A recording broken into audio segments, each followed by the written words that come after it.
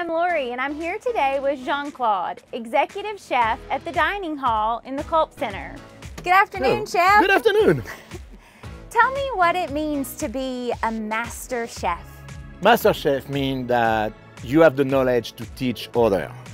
So you have to first being good at what you're doing, but also the love of teaching. Nice. And at an institution of higher education, that's important. It is. Absolutely.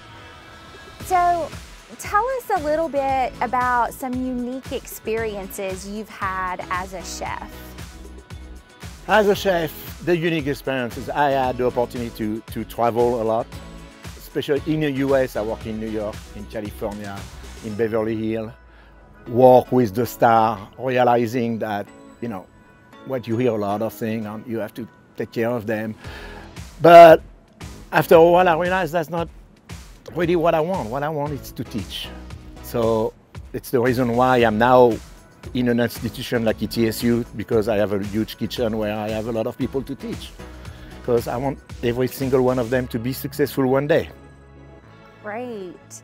What's your most favorite dish to make and why is it your favorite? Anything to do with seafood. Seafood is so delicate that 30 seconds too much on the pan, it's overcooked. Undercooked, doesn't taste as good. On the flavor, the flavor first you start with the flavor of the ocean and you can just add it's like a canvas you know you start with blank but you add color to it That's great.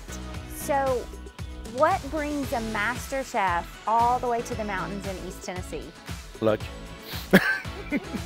look i was supposed to come here and spend two three weeks to find a chef at the time for the millennium center make sure he was uh, all right and after two months looking I call corporate and say, I cannot find anybody. Do you mind if I stay? Because I fall in love with the mountain. Absolutely. So, I have one last question for you. What's the one food you never want to see on your plate? One food I soup beans. Thank you, Chef. You're welcome.